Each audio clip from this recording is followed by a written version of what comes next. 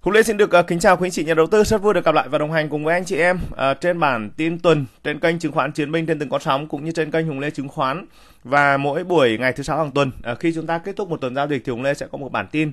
uh, phân tích tổng hợp bộ ba tham số chung của thị trường, đồng thời chúng ta sẽ phân tích uh, một số các cái danh mục cổ phiếu rất là cơ bản. Thì chúng ta có bản tin tuần và hàng ngày thì ở trên kênh Hùng Lê Chứng khoán thì Hùng có một bản tin uh, phân tích uh, xu hướng của chỉ số VN Index, VN30 và chỉ số phái sinh thì như anh chị em cũng biết rồi thị trường luôn luôn vận động cổ phiếu luôn luôn vận động và chính vì vậy nên là bản tin tuần à, chúng ta sẽ view một cách tổng thể và đến bản tin hàng ngày thì chúng ta sẽ có những cái bản view uh, chi tiết hơn còn uh, sau khi mà chúng ta Uh, có bản tin tuần thì các anh chị uh, ngoài những cái danh mục mà Hùng Lê phân tích thì các anh chị có thể uh, comment uh, chúng ta quan tâm đến những cái danh mục cổ phiếu nào thì chúng ta sẽ uh, đi uh, chúng ta sẽ làm rõ hơn uh, trên những cái góc nhìn trên những cái quan điểm của cá nhân Hùng Lê. Thì uh, như thường lệ thôi, uh, chúng ta sẽ bắt đầu uh, cái tuần giao dịch mới từ ngày mùng 2 đến ngày mùng 5 tháng 1 năm 2024. Như vậy là chúng ta đã kết thúc uh, tài khóa của năm 2023 và phiên ngày hôm nay là phiên cuối cùng của năm cũ và sau kỳ nghỉ lễ thì chúng ta bắt đầu uh, 4 phiên giao dịch đầu tiên của năm mới năm 2024. Thì uh, như vậy nếu chúng ta tính uh, từ ngày 30 tháng 12 của năm 2022 chỉ số VN Index của chúng ta đâu đó đóng cửa ở vùng ờ, 1008 ờ, điểm à? Và đến ờ, ngày hôm nay chúng ta đóng cửa vùng 1130 điểm. Như vậy là chỉ số VN Index của chúng ta đã tăng được được 1000 à 128 điểm ở trong năm 2023 tương đương với khoảng tầm 12,1% đó là cái mức tăng trưởng của thị trường ở trong năm vừa qua. Và nhìn chung thì chúng ta có một tuần kết thúc của năm 2023 tương đối thành công và tích cực. Thì ờ, nội dung của bản tin tuần thì ờ, vẫn như vậy thôi. Phần 1 chúng ta sẽ view bộ ba tham số chung của thị trường. Phần thứ hai thì cùng với các anh chị em ờ, chúng ta sẽ view một số các cái danh mục cổ phiếu tiềm năng gồm cổ phiếu trụ, bất động sản khu công nghiệp, nhóm thép, nhóm ngành đầu tư công, ừ, nhóm bất động sản dân cư, nhóm ngành dầu khí và nhóm ngành chứng khoán. Và còn thời gian thì chúng ta sẽ tổng hợp lại một số các cái nội dung chi tiết các anh chị lưu ý là tất cả mọi cái nội dung mà chúng ta xem ở trên video mang quan điểm cá nhân của Hùng Lê. À, vì vậy nhà đầu tư sẽ cân nhắc uh, trước khi xem, trước khi áp dụng và trước khi thực hành. Nói chung là như vậy. À, chúng ta có rất nhiều uh, các cái nguồn thông tin để chúng ta tổng hợp lại làm sao đó để chúng ta có những cái góc nhìn tốt nhất, uh, tối ưu nhất ở trong cái quá trình mà chúng ta uh, chiến đấu, ở uh, chúng ta đầu tư các anh chị nhé thì uh, cái mong muốn của cá nhân Hùng Lê thì nó cũng chỉ như vậy thôi làm sao để anh chị em nhà đầu tư đi được dài đi được chắc đi được xa ở trên thị trường chứng khoán Chỉ số VN Index ở trong tuần vừa qua, chúng ta bắt đầu vào phiên giao dịch từ ngày 25 và kết thúc ở phiên ngày 29 thì Nhung đã có phân tích ngay vào đầu ở phiên giao dịch của tuần. Thì chúng ta có dự báo cái vùng hỗ trợ cái tuần của chỉ số VN Index sẽ nằm ở vùng 1095, 1097 đến vùng 1100 và trong phiên giao dịch của ngày thứ hai thì chỉ số VN Index của chúng ta đã chính thức bứt qua được cái vùng tâm lý 1105 và kể từ đó thì cũng bắt đầu à, qua các bản tin hàng ngày thì cũng bắt đầu xây lên cái target kỹ thuật ở vùng 1115 sau đó thì chúng ta tiếp tục uh, tiến về uh, vùng uh, vùng target thứ nhất đó là vùng 1125 đến vùng 1130 30 và uh, trong phiên giao dịch ngày hôm nay phiên giao dịch ngày 29 thì có thời điểm chỉ số VN Index của chúng ta đã tiệm cận lên đến vùng 1135 À, trong cái nội dung phân tích kỹ thuật đó, thì cũng có dự báo là gì? Nó tiệm cận lên vùng 135 đến vùng 140 đây là cái vùng đệm tâm lý uh, quan trọng để sau khi nó lên được vùng này thì nó sẽ tiếp tục tích lũy trả cung lại ở trên vùng. Ờ, ở 1125 đến vùng 1130 thì đó sẽ là một kịch bản uh, tích cực của thị trường. Thì nhìn về góc độ như thế này uh, chúng ta thấy rằng là ba cây nến giờ đầu tiên chỉ số vn index tăng uh, tương đối là tích cực và hai cây nến uh, kết thúc phiên thì chỉ số bắt đầu có nhịp um, test trả lại cung thì đây nó cũng hợp lý thôi.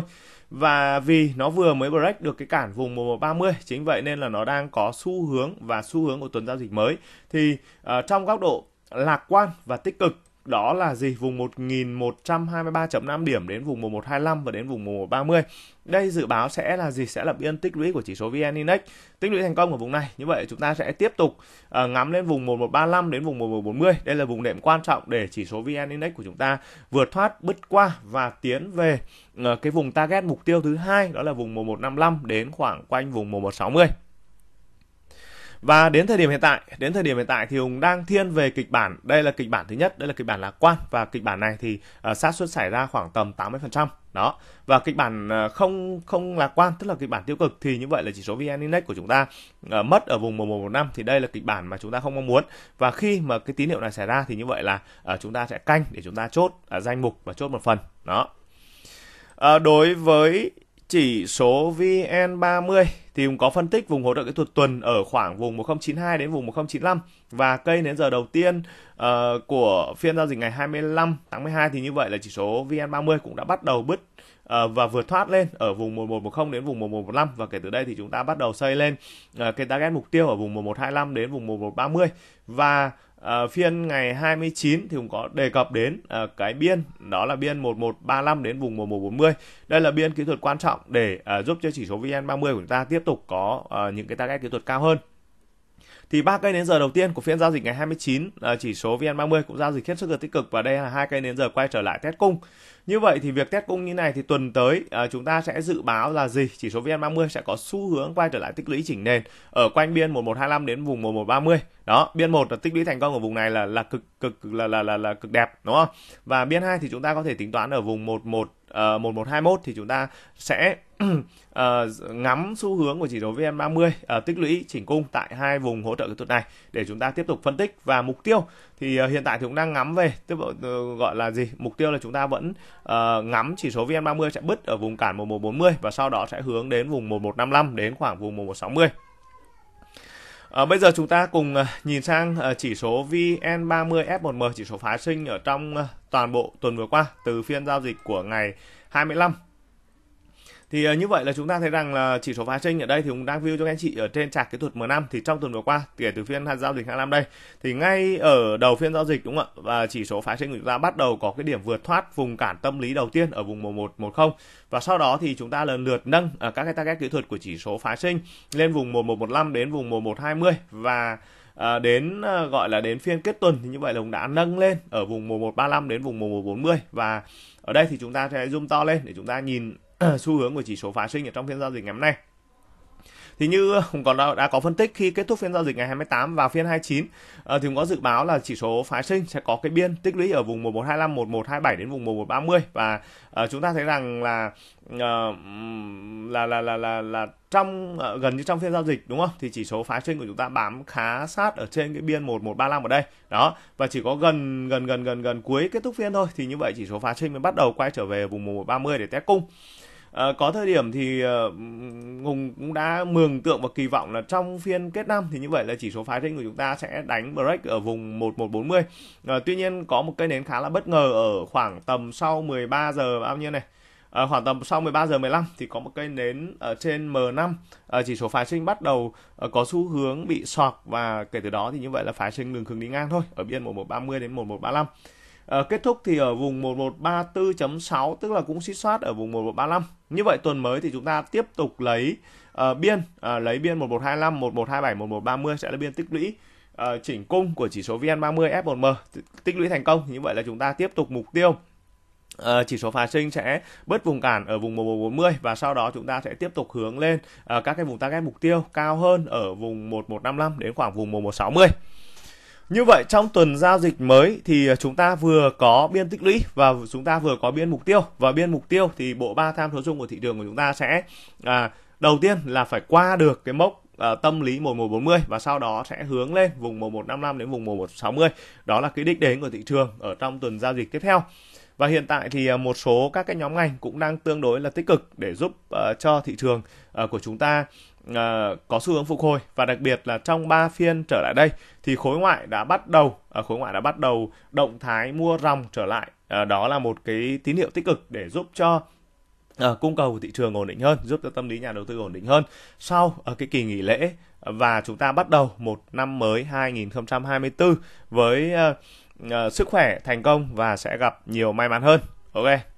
Rồi. À, tiếp theo thì chúng ta sẽ đi vào view à, các cái danh mục cổ phiếu à, rất là cơ bản thì các anh chị em cũng nắm được rồi. MVG ở đây thì chúng ta thấy rằng kết thúc bản tin tuần thì có có dự báo vùng 41.7 đến vùng 42 đó là vùng biên hỗ trợ kỹ thuật mục tiêu thì công vùng 44 ở trong tuần vừa qua thì nó công lên được khoảng tầm vùng 43.6 thì nó bắt đầu nó quay trở lại chỉnh cung tích lũy và hiện tại thì chúng ta đang uh, có một cái biên uh, đang có một cái biên tích lũy của cổ phiếu này ở khoảng quanh vùng 42.5 đến vùng 42.7 tích lũy thành công ở vùng này. Chúng ta tiếp tục mục tiêu 44 break được cản 44 thì khi đó sẽ xây ở những cái target uh, kỹ thuật cao hơn. Vinamilk. Vinamilk ở đây có vùng hỗ trợ kỹ thuật tuần vùng 67.2 đến vùng 67.5, mục tiêu thì sẽ công vùng 68.5 và trong phiên giao dịch ngày hôm nay và bản thân ở trong phiên 28 thì như vậy là Vinamilk cũng đã hoàn thành cái target mục tiêu. Ở phiên ngày hôm nay thì nó có bứt lên vùng 68.5 tuy nhiên là ừ, hai cây nền kết thúc phiên à, thì như vậy là ừ, cái lực ờ, chỉnh cung của Vinamilk tương đối là mạnh. Thì ở đây ờ, chúng ta lại tiếp tục tuần tới khả năng Vinamilk sẽ quay về vùng 67.2 đến vùng 67.5 tích lũy thành công thì như vậy mục tiêu. Ở tiếp theo của chúng ta thì không có gì thay đổi cả. Đó lại vùng 68.5 mà khi cổ phiếu vượt thoát thành công ở vùng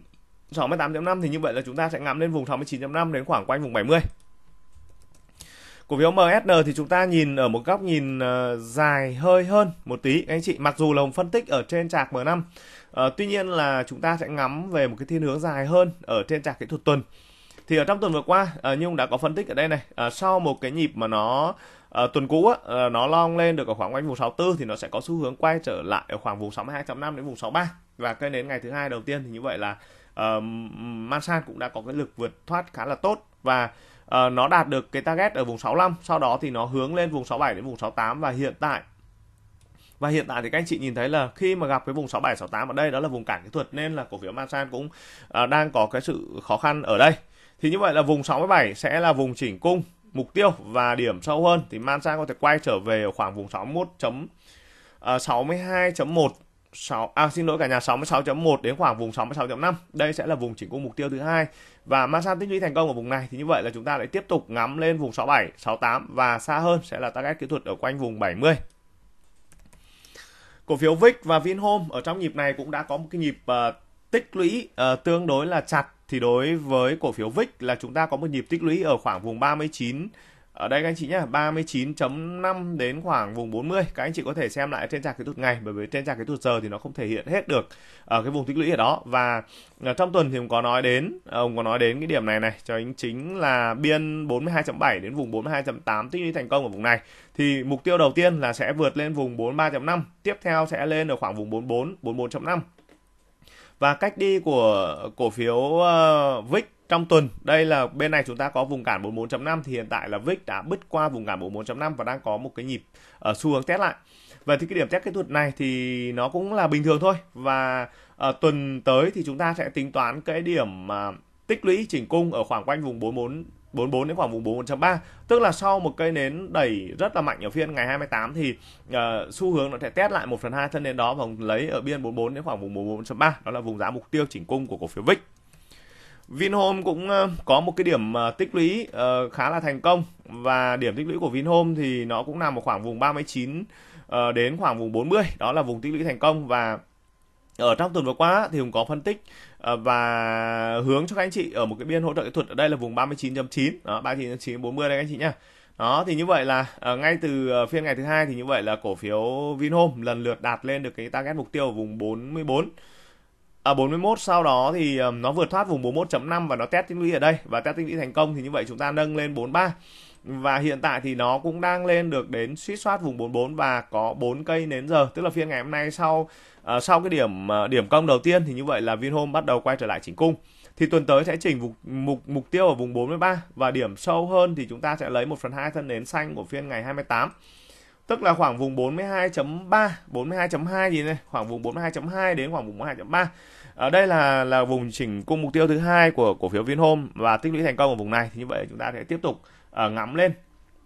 Ngắm lên cái target kỹ thuật tiếp theo ở khoảng quanh vùng 45.5 đến khoảng vùng 46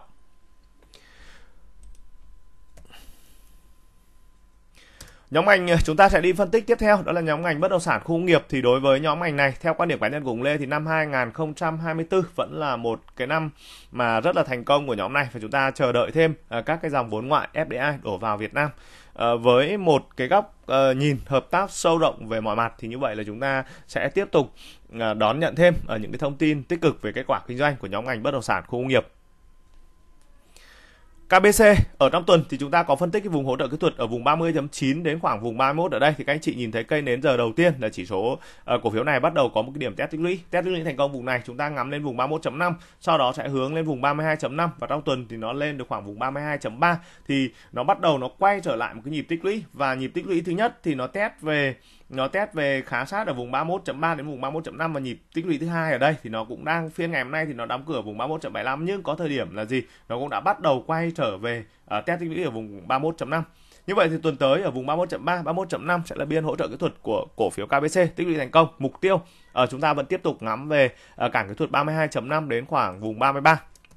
ITA là một mã cổ phiếu pen của nhóm này và góc nhìn của cá nhân Hùng Lê thì nhìn ở góc nhìn dài hơi. Thì um, ở đây chúng ta có cái vùng hỗ trợ kỹ thuật tuần ở vùng 6.35 đến khoảng vùng 6.5 trong tuần thì có một cái điểm đánh lên vùng 6.8 à, ờ, tuy nhiên ở trong uh, cây nền kết thúc phiên của ngày 28 thì như vậy là ITA có một cái uh, lực uh, bán ở ATC và như vậy thì chúng ta lại tiếp tục uh, ngắm về vùng 6.35 đến vùng 6.5 ở trong tuần mới. Ở đây đang là những cây nến giờ tích lũy ngang và chúng ta chờ đợi thêm uh, dòng tiền, uh, chờ đợi thêm các cái tín hiệu nến tích cực hơn. Ví dụ như là nó sẽ uh, công lại vùng 6.5, 6.6 đây với lực cầu xác nhận. Ví dụ như trong phiên nó có thể đánh tầm 10 đến tầm 15 triệu cổ phiếu trên một phiên. Đó.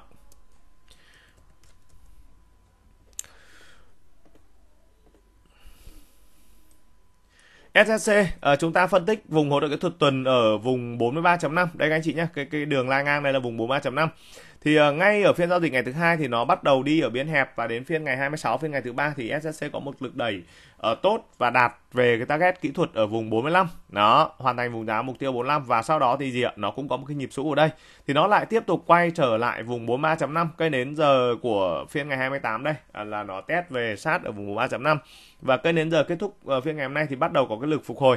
thì ờ, lực phục hồi này nó lại chạm lại vùng 45 và vùng cản nên là gì? Đây các anh chị nhìn thấy là gì? Nó bắt đầu nó có cái sự uh, uh, nó không đóng cửa được ở cao nhất phiên và nó bắt đầu quay lại chỉnh cung. Thì như vậy tuần tới uh, chúng ta sẽ lấy ở biên 44.3 44.3 đây sẽ là biên mà khả năng SSC sẽ quay trở lại test cung chỉnh nền. Uh, tích lũy thành công ở vùng này uh, chúng ta ngắm lên vùng 45 46 và và điểm xa hơn của SSC ở trong nhịp này thì uh, chúng ta có thể ngắm lên ở khoảng quanh vùng 47.5 đến khoảng vùng 48. Uh, ờ, xu hướng của SSC thì theo quan điểm của Hùng là vẫn đang uh, tương đối là tích cực. IDC À, đây IDC thì chúng ta phân tích vùng hỗ trợ kỹ thuật tuần ở vùng 51 điểm sâu hơn ở vùng 50.5 à, ờ, đến vùng 50.7 ở đây. Nhưng mà cơ bản là gì? Cây đến giờ đầu tiên là nó test về vùng 51 thôi và sau đó thì nó cũng có cái lực vượt thoát đi lên và hoàn thành cái target mục tiêu ở vùng 52.5 à, ờ, sau khi nó đạt target tuần thì nó cũng có một cái điểm test kỹ thuật lại ở vùng 51.5 ở đây tích cực. Và nó có điểm long thứ hai và nó lại bắt đầu có cái điểm test cung kỹ thuật ở đây và nó test uh, phiên ngày hôm nay là cây nến kết thúc phiên thì nó lại tiếp tục lấy lại được vùng 52 như vậy là là là là là là tốt. À, tuần tới IDC sẽ có xu hướng uh, chỉnh cung lại ở khoảng quanh vùng 52 điểm thứ nhất là vùng 52 còn điểm sâu hơn sẽ là khoảng vùng 51.5 đến khoảng vùng 51.7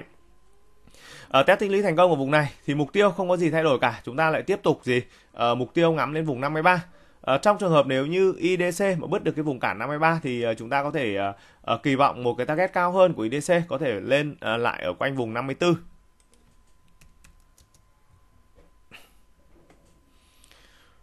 À, VGC à, VGC ở trong tuần vừa qua đây chúng ta sẽ view. Đầu tiên là chúng ta sẽ nói đến cái điểm hỗ trợ kỹ thuật tuần cũng đã có phân tích ở đây là vùng 53 53.5 thì uh, có hai cây đến giờ uh, cổ phiếu VGC trong tuần vừa qua test về vùng này. Ờ, và khi test thành công rồi á, thì mục tiêu uh, Hùng ngắm về vùng 55.5 đến khoảng vùng 56 thì các anh chị nhìn thấy đây là nó về được khoảng tầm vùng 5 55.4 gì đó. Đó. Tức là chỉ còn có 0.1 nữa thôi là nó sẽ hoàn thành cái target mục tiêu tuần và sau đó thì nó cũng có một cái nhịp rũ. Đây. Và nhịp rũ này thì vô hình dung là chúng ta lại tiếp tục có vùng hỗ trợ kỹ thuật tuần, vùng 53 53.3. Như vậy thì cái câu chuyện là gì? Chúng ta phân tích được đâu là điểm hỗ trợ và đâu là điểm kháng cự thì như vậy là chúng ta sẽ ờ, rất là chủ động các anh chị nhé. Chúng ta sẽ rất là chủ động và sau khi tích lũy thành công ở vùng này thì nhịp này thì nó lại tiếp tục gì? Vùng giá mục tiêu 55.5 đến khoảng vùng 56 à, ờ, cây nến kết thúc phiên và cũng là cây nến giờ đóng phiên. Ngày hôm nay thì uh, là một cây nến xanh và lực cầu tốt 304 uh, ngàn cổ phiếu.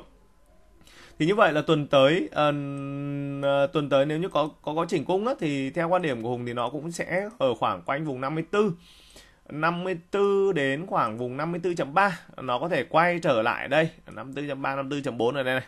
nó có thể quay trở lại để đây để nó nó test tích lũy thêm một cái nhịp nữa. Và mục tiêu thì nó cũng không có gì thay đổi cả. Tiếp tục ở vùng 55 đến khoảng vùng 56 trong trường hợp nếu như VGC bứt được cản vùng 56 thì đồng sẽ tiếp tục uh, nâng uh, các cái target kỹ thuật cao hơn.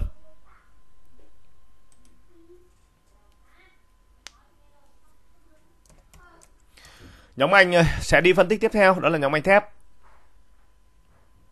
Ở thời điểm hiện tại uh, giá thép thế giới cũng đang có cái sự phục hồi. Ờ, và chúng ta kỳ vọng ờ, điều gì ở nhóm thép? Đó là trong năm 2024 thì ờ,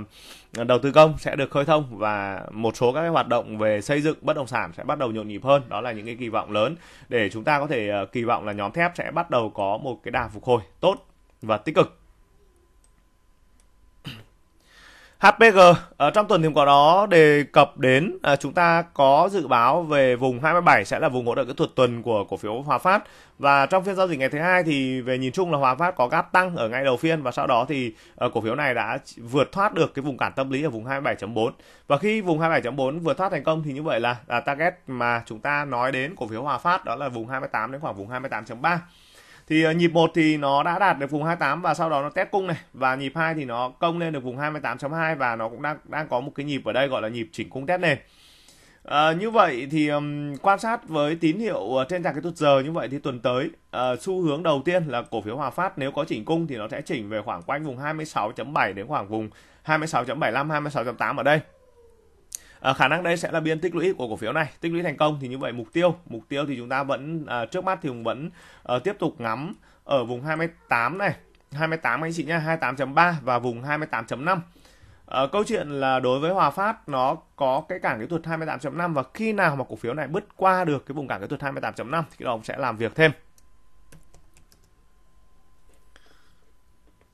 Cổ phiếu Nam Kim đó Nam Kim thì trong bản tin tuần thì nó có uh, có có phân tích vùng cản kỹ thuật ở vùng 24.8 đến vùng 25 đây là vùng cản kỹ thuật các anh chị nhá. Thì ngay đầu phiên giao dịch ở đó nếu có gap tăng thì kéo về đây và sau đó thì cổ phiếu nó sẽ uh, có xu hướng quay trở lại vùng 23.5 23.8 để tích lũy tích lũy chỉnh cung và tích lũy chỉnh nền ở đây tích lũy thành công thì cái đó chúng ta sẽ bắt đầu ở một cái nhịp tăng thứ hai thì các anh chị nhìn thấy đây là sau khi mà nó chỉnh cung thì chúng ta có tiếp tục ở đây là vùng 24 8 à 23 8 đến vùng 24 này. Và trong bản tin tuần thì có dự báo là vùng 23 235 238 nhưng nó nó nó tích lũy là là khỏe hơn so với cái vùng mà chúng ta dự báo ở đây. Và mục tiêu uh, mục tiêu thì khá là đẹp rồi. Như vậy là với cách đi như thế này thì thì đây các anh chị sau một cây nến đẩy lên ở phía ngày 28 thì chúng ta đã có 4 5 cây nến test tích lũy. Và 5 cây nến test tích lũy này thì nó đều test được ở trên vùng 20 24.4 như vậy tuần tới thì chúng ta sẽ lấy vùng 24.4 đến khoảng vùng 24.5 đó là biên hỗ trợ kỹ thuật của Nam Kim. Mục tiêu thì chúng ta sẽ ở trong nhịp này chúng ta sẽ dự báo Nam Kim sẽ có xu hướng break cản ở vùng 25 đến khoảng vùng 25.5 và khi nào mà Nam Kim bứt được qua vùng 25.5 thì khi đó ông sẽ tiếp tục uh, nâng thêm cái target kỹ thuật và chúng ta sẽ phân tích sâu hơn. À, đối với cổ phiếu Hoa Sen, Hoa Sen đây các anh chị, trong tuần à, chúng ta còn nói đến vùng hỗ trợ kỹ thuật 21.2, 21.3 à, và cũng có gáp tăng luôn và Hoa Sen có gáp tăng luôn và nó trong tuần thì à, cổ phiếu Hoa Sen hoàn thành à, vùng giá mục tiêu ở vùng 22.6 và đóng cửa ở vùng 22.8. Và sau khi hoàn thành vùng giá mục tiêu này thì cổ phiếu này cũng đã có một nhịp test tích lũy vào vùng 22.2 đến vùng 22.4. Đây làm điểm tích lũy và và và và nhìn chung là là là cái tín hiệu kết thúc phiên của Hoa Sen phiên này là tích cực. Đó nó đóng lên cửa vùng 22.8 như vậy tuần tới nếu có chỉnh thì nó sẽ chỉnh về khoảng quanh vùng 2.4. Mục tiêu thì Hoa Sen sẽ bứt ở vùng 23 đến khoảng vùng 23.2 và khi nào mà cổ phiếu Hoa Sen bứt được cái cái cản kỹ thuật vùng 23.2 rồi thì cái đó cũng sẽ tiếp tục uh, nâng cái target kỹ thuật lên và uh, tín hiệu của nhóm thép thì uh, uh, tín hiệu kết thúc tuần của nhóm thép thì đang tương đối là ổn Uh, cổ phiếu VGS ở đây uh, chúng ta phân tích uh, vùng hỗ trợ kỹ thuật 22.5 đến khoảng vùng 22.7 ở đây. Mục tiêu thì sẽ tiếp tục công lên vùng 24 24.2, 24 24.2 và trong tuần thì nó cũng lên được uh, suy soát vùng 24 được các anh chị. Và nó đang có dấu hiệu gọi là chỉnh cung uh, test tích lũy lại ở vùng 23. À, tuần tới thôi, tuần tới thì như vậy là vùng 23 tích lũy thành công thì mục tiêu không có gì thay đổi cả, 24 24.3. TLH là một mã cổ phiếu pen của nhóm ngành thép. À đây, rồi. À, vùng hỗ trợ kỹ thuật ở tuần à, chúng ta có dự báo vùng 8.1 đến khoảng vùng 8.2 và ngay đầu phiên thì nó cũng lên ở vùng 8.3 và mục tiêu thì công vùng 8.5. Ở trong tuần thì TLH chưa hoàn thành vùng giá mục tiêu. Ở tuy nhiên với cách tích lũy như thế này, à, với cách tích lũy như thế này thì chúng ta cũng hoàn toàn có thể yên tâm là à, khả năng à, sau kỳ nghỉ lễ thì như vậy là TLH cũng sẽ có cái đà phục hồi. Tuần tới uh, điểm tích lũy thứ nhất đó là vùng 8.25 đến khoảng vùng 8.3 và điểm sâu hơn sẽ là vùng 8.1. Ở hai điểm này tích lũy thành công thì như vậy thôi, mục tiêu chúng ta không có gì thay đổi cả. Uh, tiếp tục tiến về uh, cảng kỹ thuật 8.5 đến vùng 8.6. Và khi nào à, khi nào mà cổ phiếu T, T, TLH mà bứt được qua vùng 8.6 thì đồng sẽ uh, tiếp tục để uh, chúng ta nâng những cái target kỹ thuật tiếp theo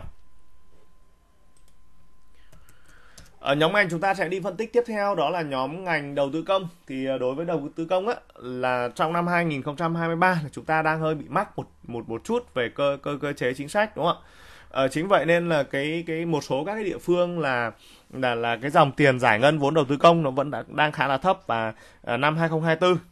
à, thì kỳ vọng là chính phủ sẽ có thêm à, nhiều các cái biện pháp mà tháo gỡ à, đúng không ạ? Tháo gỡ các cái vướng mắc để à, chúng ta đẩy mạnh về xây dựng hạ tầng kỹ thuật đẩy mạnh về giao thông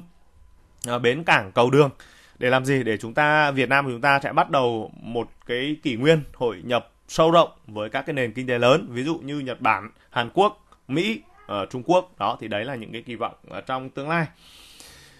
uh, thế còn trong ngắn hạn thì nhóm ngành này cũng bắt đầu có một cái sự uh, phục hồi khá là tốt và uh, kể từ cái chân sóng ngày 19 ngày 19 các anh chị nhé, ngày 19 tháng 12 À, cho đến thời điểm hiện tại thì như vậy là à, nhóm ngành này cũng đang có cái sự phục hồi tốt và đó là những cái cơ sở rất quan trọng để à, chúng ta tiếp tục phân tích và chúng ta tiếp tục kỳ vọng cái sự à, tăng trưởng ở trong tương lai. À,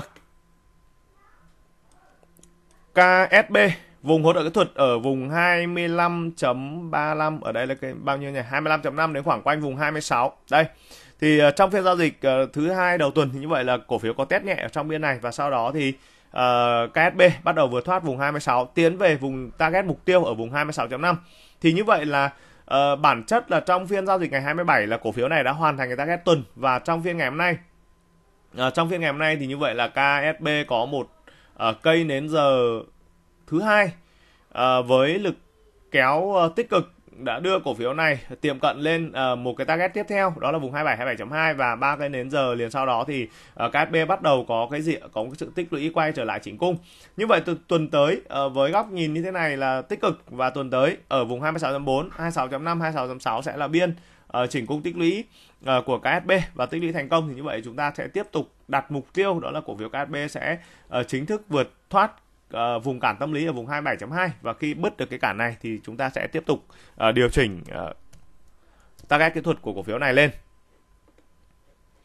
PLC là một mã cổ phiếu về nhựa đường, uh, về cái nhựa mà rải đường các anh chị, giải thảm á, đó. Thì trong tuần vừa qua nhìn chung là là là là PLC không có quá nhiều động lực và biên ở biên ở đây là biên 31 đến khoảng vùng 31.5. Uh, có thời điểm là đã chạm về cái vùng cản kỹ thuật 32 tuy nhiên là nó không bứt được cái vùng 32 và nó tiếp tục quay trở về đi sideways đi ngang tích lũy. Và với động thái uh, như hiện tại thì như vậy tuần tới có thể là gì? Nó sẽ có thể là test cung uh, chỉnh nền về khoảng quanh vùng 30.5 và tích lũy thành công. Thì như vậy là trong thời điểm ngắn thì chúng ta chỉ ngắm ở một cái target nho nhỏ ngắn ngắn thôi từ vùng 30.5 đến khoảng vùng 32.5 ở đâu đó ở biên cộng trừ một ngàn rưỡi đến khoảng tầm hai ngàn trên ờ, hai ngàn đồng trên uh, trên trên cổ phiếu thôi trên một nhịp đánh thôi.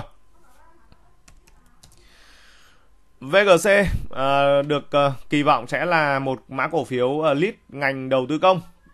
Thì uh, phiên giao dịch ngày thứ hai thì cũng đã có phân tích ở đây là vùng V VCG xin lỗi cả nhà VCG ở đây VCG đây có vùng hỗ trợ kỹ thuật tuần là vùng 2037 đến vùng 24 thì Nhung đã có phân tích ở đây này. Uh, cái cây nến tuần uh, cái cây nến mở phiên á, sẽ là một cái cây nến mà giúp cho chúng ta nhận diện định lượng về mặt thiên hướng đúng không ạ đó và cây nến đầu tiên cây nến giờ đầu tiên thì như vậy là ờ, uh, VCG đã có cái lực uh, bứt thoát khá là tốt và đến cây nến giờ thứ hai thì như vậy là um, nó đã nó đã vượt lên được ở trên cái vùng 24.2 đó và trong tuần thì nó hoàn thành cái vùng giá mục tiêu ở vùng 24.8 và sau khi mà hoàn thành vùng giá mục tiêu 24.8 thì nó bắt đầu nó quay lại uh, chỉnh cung và ở phiên giao dịch ngày 28 thì Hùng tiếp tục ngắm ở vùng 24.3 đến khoảng vùng 24.4 đấy các anh chị này. Tức là khi mà nó chỉnh cung thì Hùng dự báo là nó sẽ chỉnh về đây. Nó tích lũy và đây đang là những cây nến giờ đẩy lên. À, đang những cây nến giờ đẩy lên thì theo quan điểm của Hùng là với cách đi như này là tích cực các anh chị. Đó. Vậy thì tuần tới ờ, nếu có chỉnh thì nó cũng chỉ như vậy thôi. Vùng 24.3, 24.4, 24.5 à, mục tiêu ở trong nhịp này mục tiêu ở trong nhịp này thì cũng sẽ ngắm lên ở vùng 25.4 đến khoảng vùng 25.5 tức là gì? Tức là mục tiêu ở trong tuần tới uh, sau kỳ nghỉ lễ thì uh, cổ phiếu VCG sẽ uh, đặt mục tiêu là bứt thoát vùng 24.8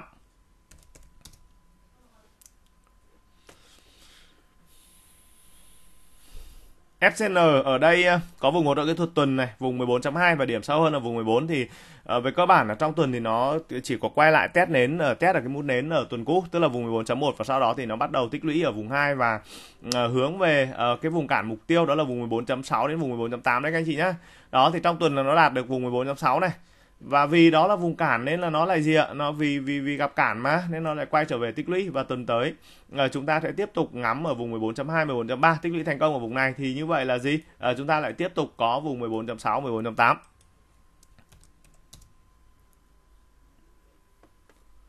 À, cổ phiếu LCG uh, ờ, có hai vùng hỗ trợ tuần mà phân tích đó là vùng 11.7 vùng 11.8 điểm sâu hơn ở vùng 11.6 nhưng trong tuần thì nó chỉ test ở vùng 11.8 đồng thời thì nó cũng đã uh, có một cái lực uh, vượt thoát lên khá là tốt uh, quay trở lại vùng 12.2 và vùng 12.2 đây là vùng cản nên nó cũng đang sideways. Ở tích lũy thêm như vậy đối với LCG ở trong tuần tới thì như vậy chúng ta sẽ ngắm ở biên 11.9 uh, tích lũy thành công ở vùng này uh, tích lũy thành công của vùng này và lực cầu tiếp tục được đẩy vào thì xác suất cao khả năng nhịp này ờ, uh, LCG sẽ uh, vượt thoát cái vùng 12.2 để uh, có thể đi uh, về vùng cản kỹ thuật 12.5 đến khoảng quanh vùng 12.7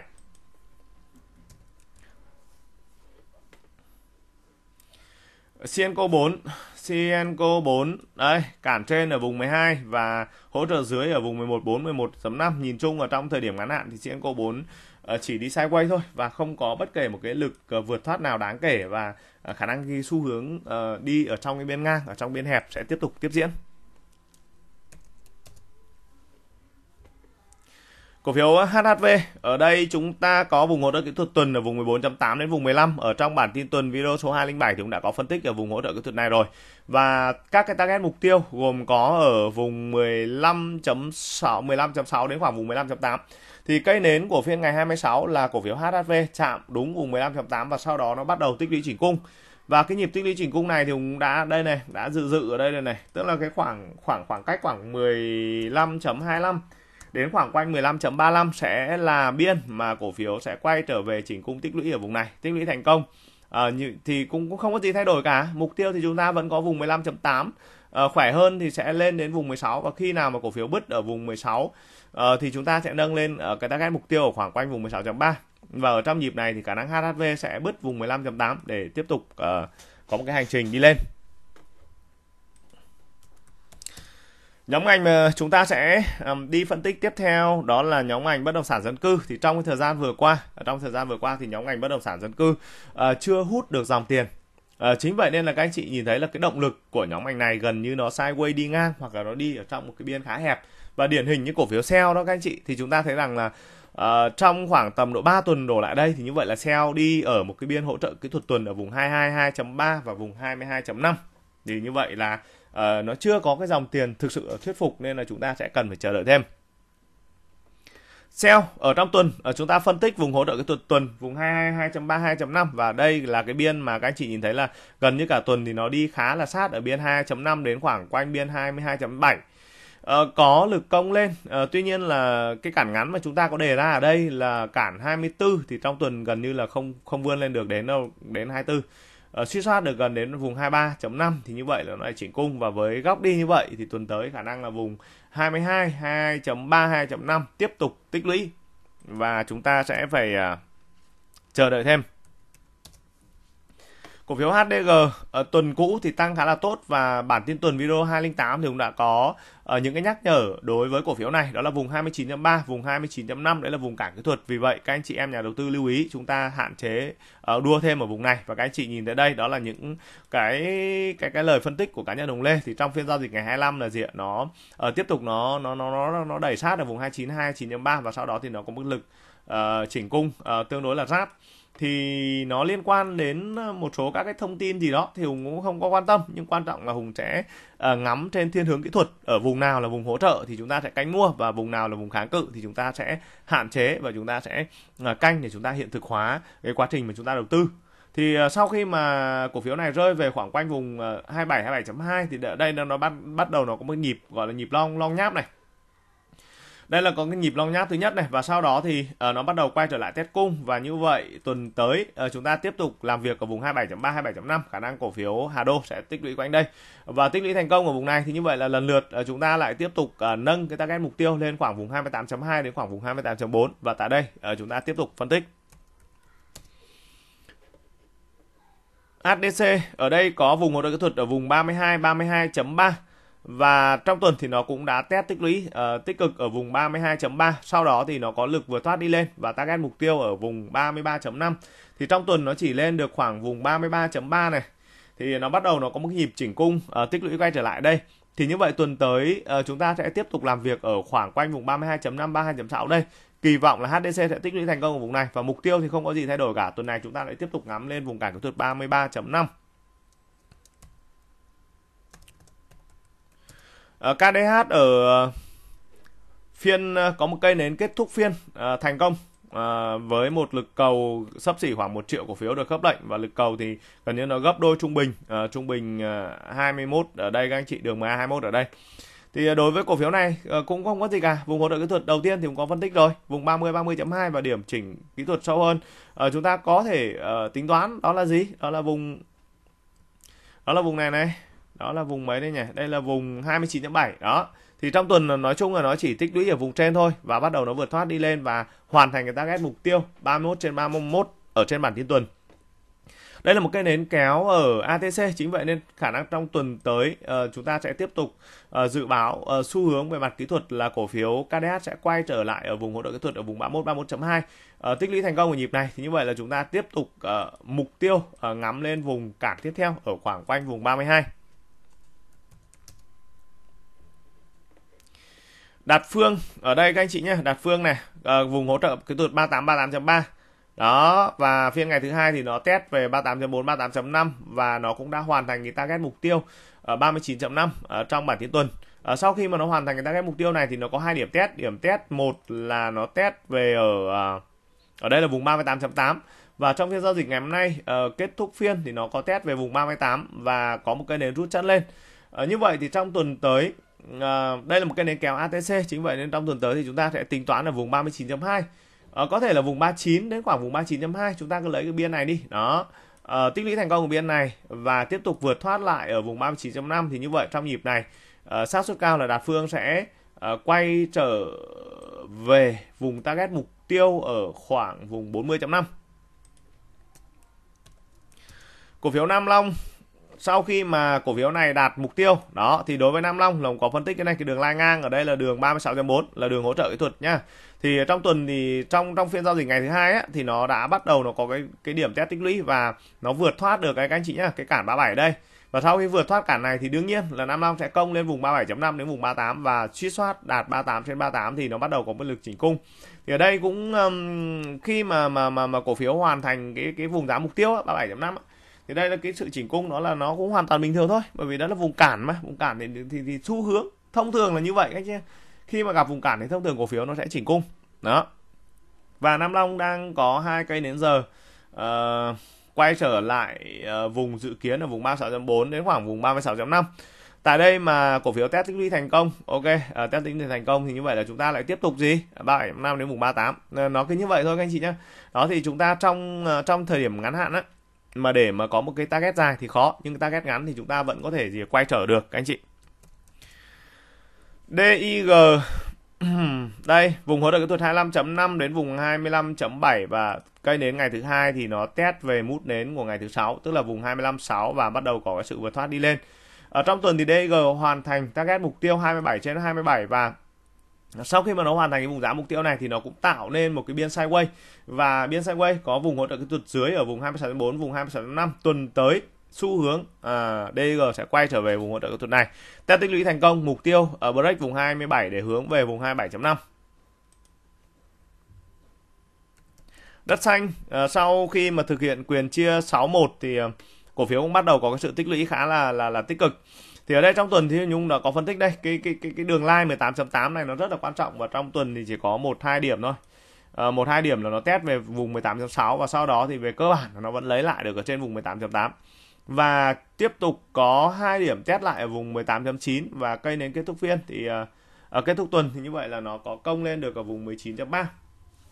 thì trong ngắn hạn á, trong ngắn hạn thì đất xanh sẽ ngắm về vùng hỗ trợ à vùng kháng cự 19.5 và trong trường hợp khi mà cổ phiếu này bứt được vùng 19.5 rồi thì cũng sẽ hướng uh, cái vùng giá mục tiêu tiếp theo của đất xanh sẽ hướng về khoảng quanh vùng 20.2 đến khoảng vùng 20.5 Novaland phiên kết tuần có lực cầu tích cực, có lực cầu tích cực. Và về cơ bản thì trong hai tuần vừa qua thì Nhung đã có phân tích ở đây. Đúng không ạ? Vùng hỗ trợ kỹ thuật 16.5 và điểm sâu hơn sẽ là vùng 16 đến khoảng vùng 16.2. Thì uh, tuần này ờ, về hai hai tuần gần đây từ đó thì về cơ bản là nó bám biên 16.16.5. Ở ờ, mục tiêu công lên vùng 17.5 à, Tuy nhiên trong tuần này thì mới đến được khoảng tầm vùng 17.35 thôi Thì nó đang tạm thời nó đang phải dừng lại ở đây Thế thì um, sau một cây nến đẩy lên à, đây à, với lực khớp lệnh khoảng tầm độ 10 triệu cổ phiếu trên một phiên như vậy tuần tới chúng ta sẽ kỳ vọng điều gì? À, chúng ta sẽ kỳ vọng ở vùng 16.9 sẽ là biên mà cổ phiếu Novaland sẽ test tích lũy tại đây. Đó, test về vùng 16.9, test tích lũy thành công thì như vậy là gì? À, lực cầu tiếp tục được đẩy mạnh và lực cầu đối với lực cầu của cổ phiếu của cổ phiếu Mansan nó phải đạt khoảng tầm từ 40 triệu đến 60 triệu cổ phiếu thì cái đó nó mới uh, mới mới mới có một cái lực tăng tốt được. Uh, cổ phiếu ờ, uh, PDR PDR đây vùng hỗ trợ kỹ thuật 26.3 26.5 điểm uh, test mút nến của phiên ngày thứ hai đúng vùng 26.5 trước khi mà cổ phiếu này hoàn thành cái target mục tiêu ở trong tuần 28 trên 28 và và chúng ta có 3 phiên tích lũy ở vùng 27.5 đến vùng 28 đây là những cơ sở tích lũy hết sức là quan trọng để uh, có thể dự báo tuần tới. Uh, sau khi tích lũy thành công ở vùng này uh, vùng 27.5 thì như vậy là chúng ta sẽ tiếp tục uh, kỳ vọng có một cây nến break vùng 28 để hướng về ở những cái vùng cản kỹ thuật tiếp theo ở quanh vùng 29 đến khoảng vùng 30 ở nhóm ngành vùng sẽ đi phân tích tiếp theo đó là nhóm ngành dầu khí. Thì đối với nhóm ngành dầu khí là các anh chị uh, à, chúng ta sẽ nhìn ờ, thêm một chút về xu hướng về giá dầu.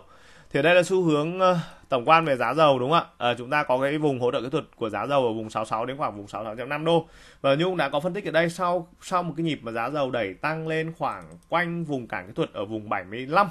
thì nó sẽ bao giờ nó cũng như vậy nó cũng sẽ có một cái nhịp trả cung. Và đây các anh chị nhé đây nó bắt đầu có một cái nhịp trả cung đây này. Thì cái này các anh chị có thể xem bản tin tuần trước thì cũng có dự báo rồi đó chứ không phải là bây giờ mới nói đâu không phải bây giờ mới nói sau đâu thì tất nhiên là cái này nó khó các anh chị nhé. Cái này là của quốc tế mà, chứ không phải của Việt Nam, nên là mình cứ dự dự như vậy thôi. Và tất nhiên là những cái dự báo của mình thì nó cũng không phải là kiểu chém gió, kiểu vu vơ, mà nó cũng phải có những cái cơ sở nhất định và nó cũng phải có, gọi là, cái đầu óc quan sát hoặc là chúng ta cũng phải ừ, phải phải phải dựa theo những cái cách đi ờ, của thị trường, của cổ phiếu đấy của giá dầu đó. Thì chúng ta dự như vậy thôi. Hoặc là đối với chỉ số Dow Jones cũng như vậy uh, chúng ta ăn cơm Việt mà chúng ta đi phân tích Dow Jones nghe nó kinh khủng quá đúng không ạ? Nhưng mà chúng ta cứ uh, bám sát thôi. Và uh, trong về phân tích kỹ thuật đấy các anh chị chúng ta có đúng có sai mà đúng không ạ? Và cái cái quan quan trọng nhất đó là về mặt quan điểm về mặt tư tưởng. Đó các anh chị về mặt tư tưởng. Là chúng ta có tin tưởng nhau hay không? Ờ, chúng ta làm việc với nhau chúng ta có cảm thấy happy hay không? Chúng ta có cảm thấy vui vẻ hay không? Thì đó là cái điều quan trọng nhất.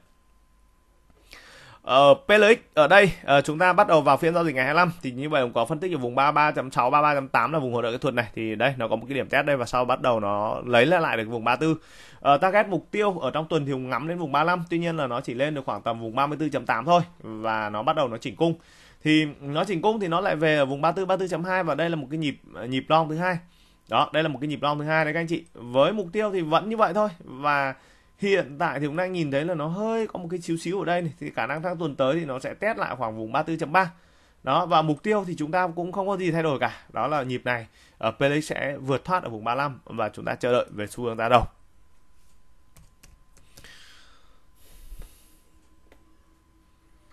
Ở cổ phiếu PVS hỗ trợ tuần 37.7 đến vùng 38 ở đây. Ngay phiên ngày thứ hai thì nó có cái lực uh, vượt thoát lên và target tuần thì đặt ra ở đây đó là vùng 39.5 à, thì nó lên được đâu đó khoảng vùng 39.3 thì như vậy nó bắt đầu quay trở về chỉnh cung và đây là những cây nến mà thể hiện uh, cái đà tăng của cổ phiếu PVS bị chậm lại. Uh, do đó tuần tới sẽ ở vùng 37.7 đến vùng 38 tức là về lại hỗ trợ kỹ thuật tuần mà chúng ta có phân tích cho tuần video số 208 thì như vậy tuần 209 thì nó lại có xu hướng ở vùng 37.7 đến vùng 38 tích lũy thành công của vùng này. Như vậy tiếp tục ngắm lên vùng 39 39.5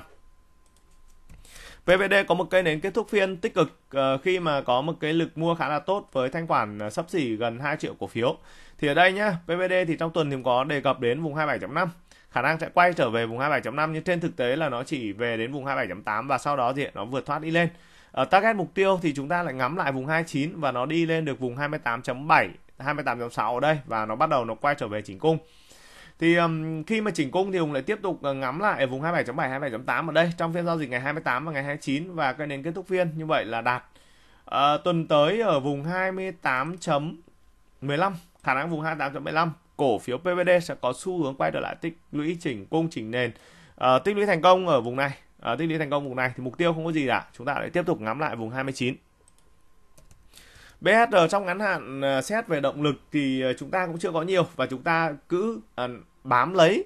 uh, bám lấy cái nội dung. Thứ nhất đó là vùng hỗ trợ kỹ thuật dưới của nó là vùng 18 18.1 18.2 và biên cản trên của nó là ở quanh vùng 19 đến khoảng vùng 19.2 thế thì như vậy là cái gì? Khi mà chúng ta có biên hỗ trợ đây các anh chị nhá có biên hỗ trợ thì um, các cái tài khoản mà chúng ta cầm chúng ta có thể canh gom thêm và khi mà cổ phiếu gặp về đến ờ, về đến cái vùng cản ngắn thì như vậy là chúng ta tạm thời là chúng ta gì ạ? Chúng ta uh, chốt bớt những cái vị thế mà chúng ta đã gom được ở vùng thấp. Đó thì uh, ngắn hạn ở trong thời điểm ngắn hạn thì chúng ta cũng uh, cố gắng tối ưu như vậy để làm sao đó mà chúng ta uh,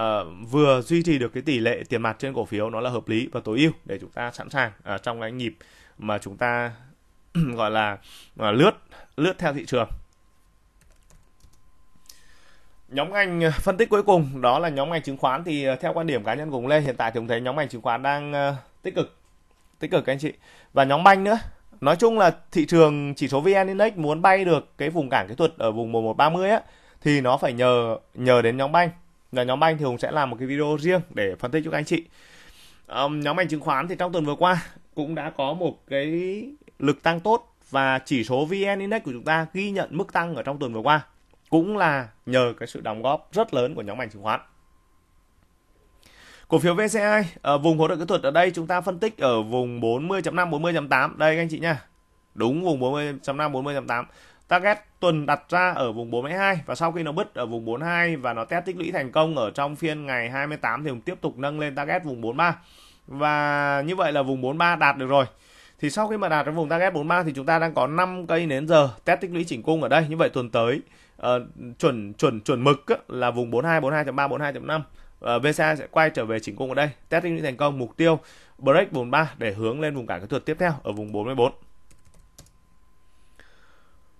SSI vùng hỗ trợ kỹ thuật tuần 3232.2 và các anh chị nhìn thấy là ngay lập tức là có điểm test kỹ thuật ở vùng 32.1 32.2 ở phiên giao dịch đầu tuần. Nó test tích lũy thành công thì mục tiêu là vùng 33 và trong tuần này thì SSI hoàn thành vùng giá mục tiêu 33. À, sau khi hoàn thành vùng giá mục tiêu này thì nó lại tiếp tục có một cái biên à, tích lũy sideways chỉnh cung ở đây ở vùng 32.5 32.7 và kỳ vọng vào trong tuần tới cổ phiếu sẽ tiếp tục quay trở về chỉnh cung. Ở tích lũy thành công vùng này, mục tiêu trong nhịp này SNI thoát vùng cản 33 để hướng về vùng 33.8 đến khoảng vùng 34.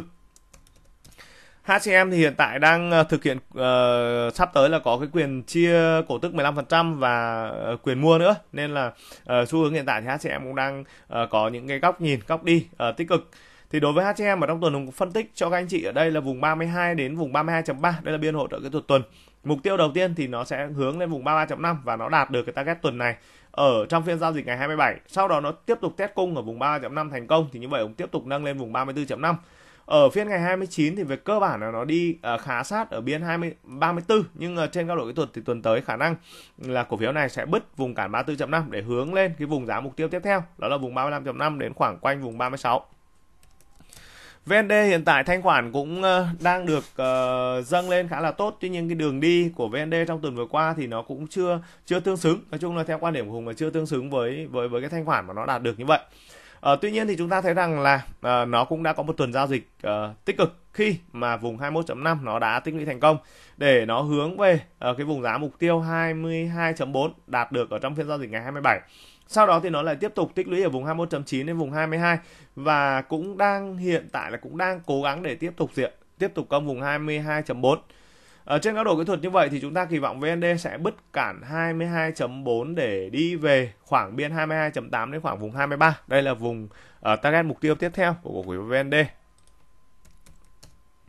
FTS uh, ờ, là một mã cổ phiếu chứng khoán nó đánh tương đối là nhạy à, biên hỗ trợ kỹ thuật thì là có phân tích ở đây đó là vùng 43 đến vùng 43.5 ok trong phiên giao dịch ngày thứ hai chúng ta có 43 43.5 uh, target mục tiêu ở vùng 45 45.5 đến vùng 46 thì trong tuần nó lên được vùng 45.3 45.4 gì đây này và bắt đầu nó chỉnh cung tích lũy thì trong phiên giao dịch ngày 27 đến 28 và 29 FTS uh, tích lũy uh, tích lũy ở vùng uh, 44.3 đây các anh chị liên tục có những cây đến giờ tích lũy ở đây uh, khá là tích cực đóng cửa phiên ở vùng 44.65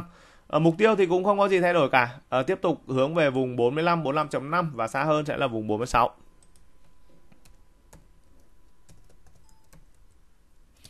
SHS đây ở đây là sàn HX nên nó có những cây cây nến này các anh chị này đây là những cái cây nến mà ngày xưa khi mới học phân tích kỹ thuật mới nhìn đến chứng khoán nhìn những cây nến này khiếp hồn luôn các anh chị khiếp hồn luôn ở đây thì ờ, chúng ta có SHS này ở vùng 18 18.3 ở đây ờ, là vùng 18.2 18.3 là vùng hỗ trợ kỹ thuật. Và tuần tới thì chúng ta sẽ mục tiêu trong tuần là chúng ta ngắm 19.5 nhưng mà chưa đạt được nó chỉ lên được vùng 19.1 thôi. Ở đây thì nó sẽ tuần tới thì khả năng ở đây này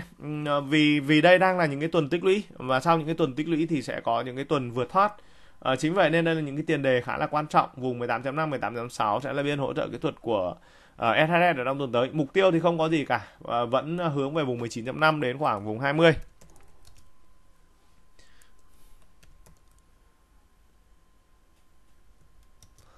VIX ở trong tuần vừa qua uh, thanh khoản của cổ phiếu này tích cực. Và điểm hỗ trợ kỹ thuật vùng 16.3 16.5 và trong tuần vừa qua thì nó về đến điểm mút nến đó là vùng 16.6 và bắt đầu gì ạ? Uh, hoàn thành được cái vùng giá mục tiêu 17.2 đến vùng 17.5 thì sau khi mà nó chạm lên đến ở đây, đó là vùng cản kỹ thuật, các anh chị. Ở vùng đây là vùng cản kỹ thuật nên là nó có điểm à, test thứ nhất này, nó lại long lên và bắt đầu nó có điểm test thứ hai. Tuần tới ở vùng 16.9 17 sẽ là biên tích lũy của cổ phiếu VX tích lũy thành công thì mục tiêu 17.5 ờ, đầu tiên nó phải bứt được cái vùng 17.5 đã. Và khi bứt được cái vùng đó thì chúng ta phân tích tiếp.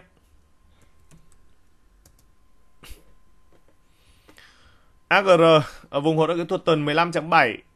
đây các anh chị, có luôn 15.7 mục tiêu hướng về vùng 16.5 và đi lên được vùng 16.3 dừng lại tích lũy ở vùng 16 đến vùng 16.2 ở ờ, trên thiên đường kỹ thuật tuần tới, ở biên 16 16.2 cổ phiếu AGR tiếp tục tích lũy, mục tiêu vẫn ngắm về vùng 16.5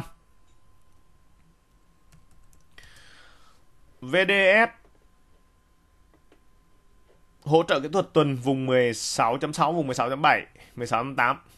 và trong tuần vừa qua thì nó test về mút nến vùng 16.8 và sau đó thì bắt đầu uh, có cái lực vượt thoát đi lên. Target kỹ thuật tuần thì có đặt ra ở vùng 17.6 đến khoảng vùng 17.8 uh, ờ, tuy nhiên lên được đâu đó khoảng vùng 17.5 thì như vậy là cổ phiếu bắt đầu có sự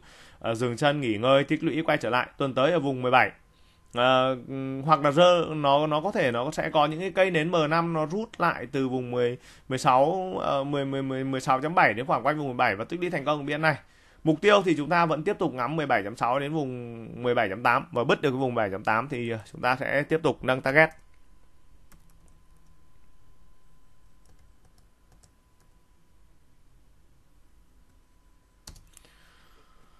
Cổ phiếu ORS hỗ trợ kỹ thuật tuần ở vùng 16.2, vùng 16.4 đây các anh chị nhé. Và trong tuần thì ờ, nó đi về vùng ờ, đây điểm này hình như là 16.4 này. 10 điểm lâu nhất là 16.45 nó về đến vùng 16.45 và sau đó thì nó bắt đầu gì bắt đầu vượt thoát đi lên. Và target tuần đặt ra ở vùng 17 trên 17 thì ờ, đến phiên giao dịch ngày hôm nay, phiên ngày 29 thì cổ phiếu hoàn thành target mục tiêu tuần.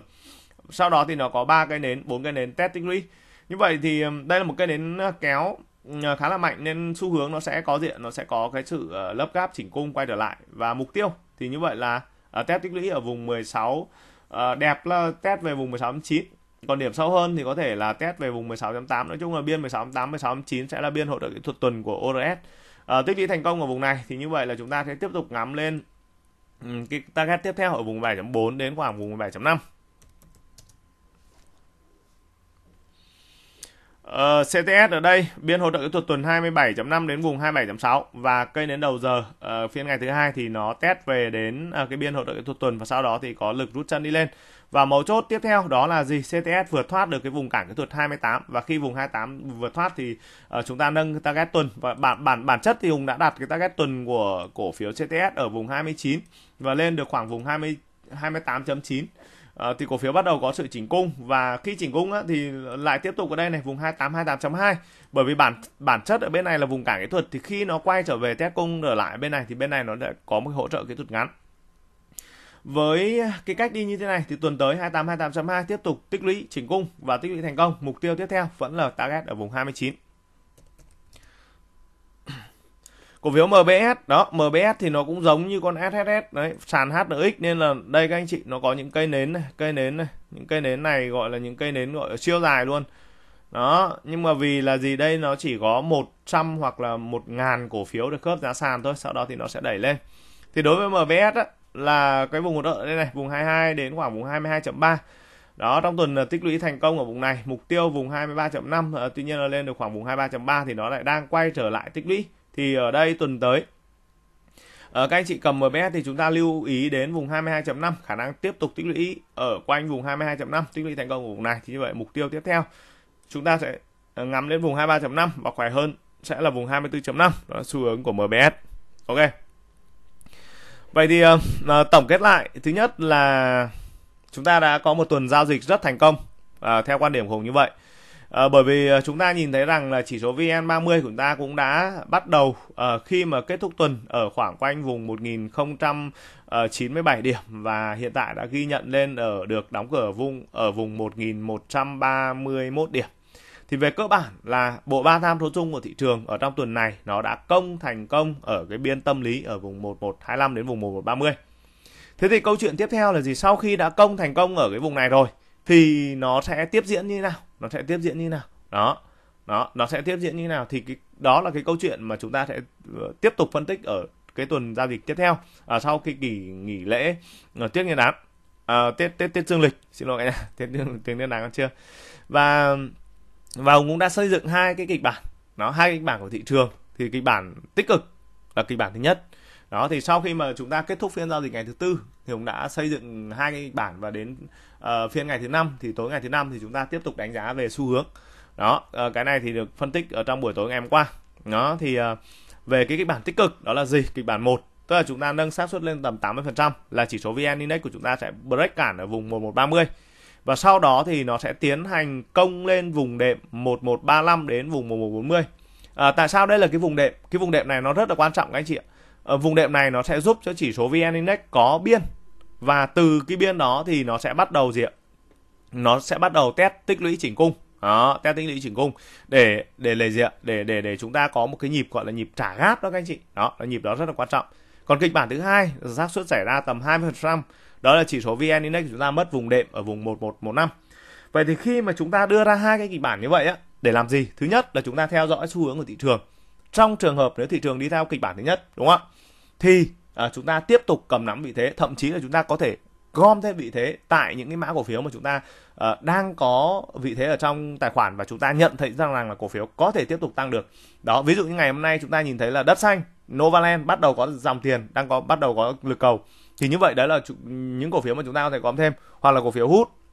một số các mã cổ phiếu hoặc là VND hoặc là SSI một số các mã cổ phiếu còn dòng tiền. Đó thì như vậy là chúng ta có thể gom thêm. Còn trong trường hợp nếu như chỉ số VN Index của chúng ta bị mất ở vùng 1115 đó đây. Thì như vậy là cái câu chuyện là gì? Cái, hoàn toàn thị trường có thể có hai hai cái thiên hướng. Trong trường hợp nếu chúng ta mất ở vùng 115 thì đó là một một cái kịch bản chúng ta không mong muốn. Các anh chị chúng ta hoàn toàn không mong muốn việc đó. Tuy nhiên là chúng ta không không thể cưỡng lại được và chúng ta không thể chống lại được cái xu hướng đó và và và chúng ta là những nhà đầu tư nhỏ lẻ thì chúng ta bắt buộc chúng ta phải nương theo xu hướng. Và khi nương theo xu hướng thì chúng ta mới ờ, có thể là gì? À, chúng ta mới có thể thành công được. Chứ chúng ta cố chấp rồi chúng ta cứng nhắc ở trong các cái quyết định xử lý thì như vậy là à, sẽ rất là là là phức tạp luôn. Đó thì uh, như vậy thì uh, sau kỳ kỳ nghỉ lễ thì quan điểm với quan điểm cá nhân Hùng Lê thì Hùng kỳ vọng là gì? Ở đây là phiên ngày hôm nay là hơi tiếc một một tí ví dụ như chỉ số vn index của chúng ta có thể đẩy lên được ở biên 1140 thì để để kỳ nghỉ lễ xong á thì như vậy index chúng ta có cái biên trả cung. Đó thì phiên ngày hôm nay là lên được đến vùng 1135 và nó đóng cửa ở vùng 1130 như vậy là nó cũng đã uh, kéo lên để đến 5 điểm và sau đó nó cũng lấp gáp nó trả cung ở vùng 5 điểm ở đây. Thì như vậy tuần tới ờ, các anh chị lưu ý nhé ờ, đối với chỉ số vn index cái điểm mẫu chốt quan trọng nhất đó là vùng 1123.5 đến vùng 1125 và đến vùng 1130 đây là biên tích lũy và trong trường hợp nếu chỉ số VN Index của chúng ta tích lũy thành công ở vùng này thì xác suất cao là index sẽ ờ, break cái vùng 1140 và hướng về vùng target mục tiêu thứ hai đó là ở vùng 1155 đến vùng 1160 và trong kịch bản phân tích về thị trường ở trong ngắn hạn thì Hùng đưa ra ba cái target mục tiêu. Khi chỉ số VN Index tích lũy thành công ở vùng 1073, 1080 thì target 1 đó là vùng 1125 đến vùng 1130. Target 2 ở vùng 1155 đến vùng 1160 và target 3 ở vùng 1225 điểm đến vùng 1230 điểm. Đó là ba cái target mục tiêu mà ông đang đưa ra trước mắt đối với thị trường, đối với chỉ số VN Index và lần lượt ở trong bản tin tuần thì chúng ta sẽ đi phân tích ờ, và làm rõ ở chi tiết các cái nội dung này. Ờ, bản phân tích tuần đến đây xin phép được tạm dừng. Xin được kính chào, tạm biệt và hẹn gặp lại anh chị em nhà đầu tư trong các bản cập nhật tiếp theo. Và uh, cũng là cái phiên giao dịch đầu cuối cùng của năm cũ 2023 và uh, sang tuần thì chúng ta sẽ bước uh, sang năm mới 2024 thì uh, Hùng Lê xin được gửi lời cảm ơn đến anh chị em cộng đồng nhà đầu tư đã liên tục đồng hành và ủng hộ cá nhân Hùng Lê trong thời gian vừa qua. Uh, kính chúc anh chị em có một kỳ nghỉ lễ uh, thật là vui vẻ, hạnh phúc uh, và chúng ta sẽ uh, quay trở lại một uh, năm mới uh, giao dịch với nhiều thành công và nhiều may mắn hơn ở trên thị trường chứng khoán. Ờ, xin kính chào, tạm biệt và hẹn gặp lại anh chị em.